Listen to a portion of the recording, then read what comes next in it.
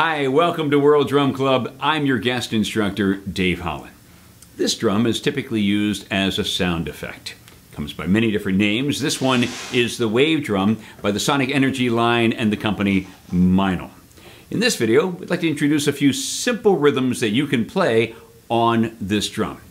We're going to be playing in a lap style that is often played in frame drum traditions, and we're going to be using two traditional sounds. One is the doom, and it's created by throwing the thumb against this part of the drum with the dominant hand.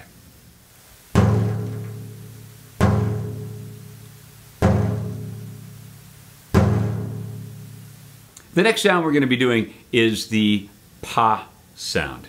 And that's going to be created by bringing the hand up and catching with the finger pads, the four finger pads, just like this.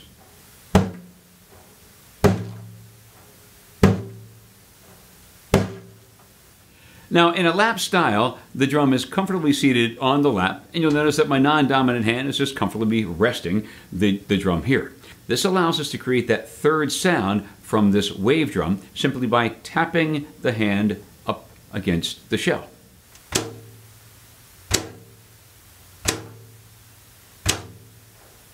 And we're going to call that sound the chick sound. For our purposes here, only three sounds, the doom, the pa, and the chick. Here's a simple exercise to incorporate all of those sounds.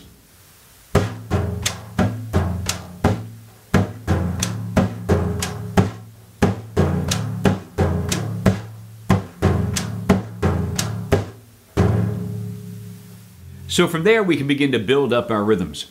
We're going to be using traditional rhythms from the Middle Eastern tradition. The first one we're going to play is Malfuf.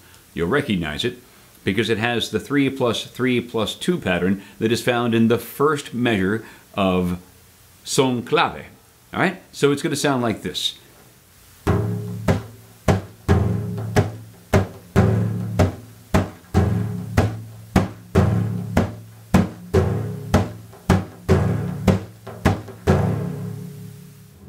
So now we can begin to layer in our chick sound. I'm going to be looking for a space just before each pa and then add a chick to the rhythm like this.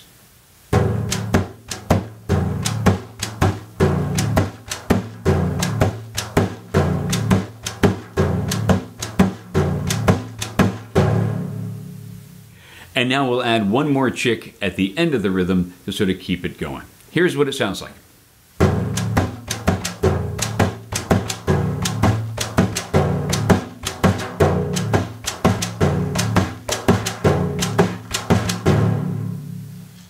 So now I'm going to trade out this wave drum for this drum behind me. It's very similar in that it does have the shot inside.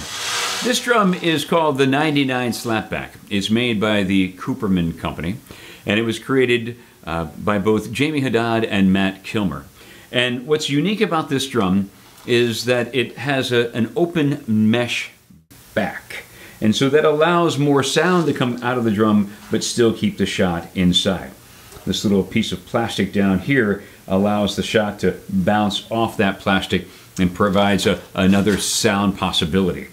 The other great thing about the 99 Slapback is that it is entirely tunable. Pretty cool feature. All right, here we go. Rhythm number two. We're going to play a Maqsoum. The fundamental pattern for Maqsoum is dum pa, pa dum pa, doom pa, pa doom pa. It'll sound like this.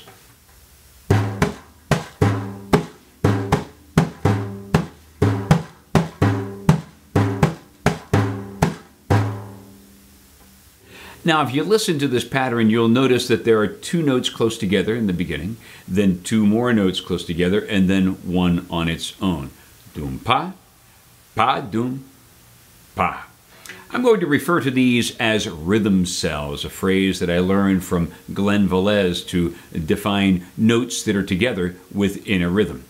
That makes it simple for this drum because we can use those spaces in between those cells to add our chick. It'll sound like this.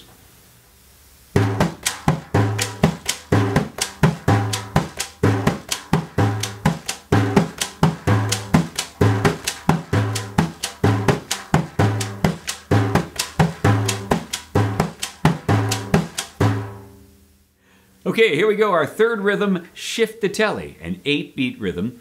And the fundamental pattern sounds like this.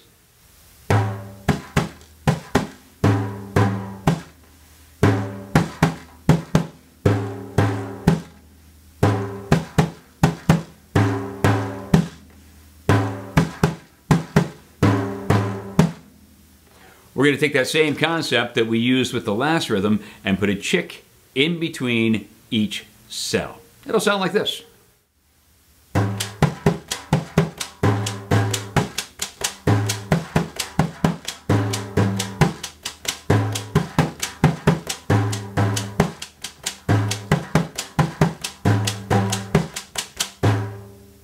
So there you go, some traditional rhythms played on a fairly new drum. If you want to check out some great players that play in this style, here are some names for you.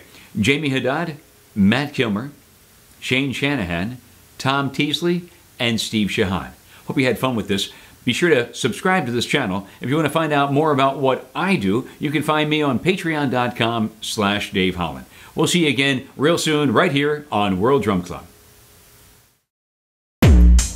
World Drum Club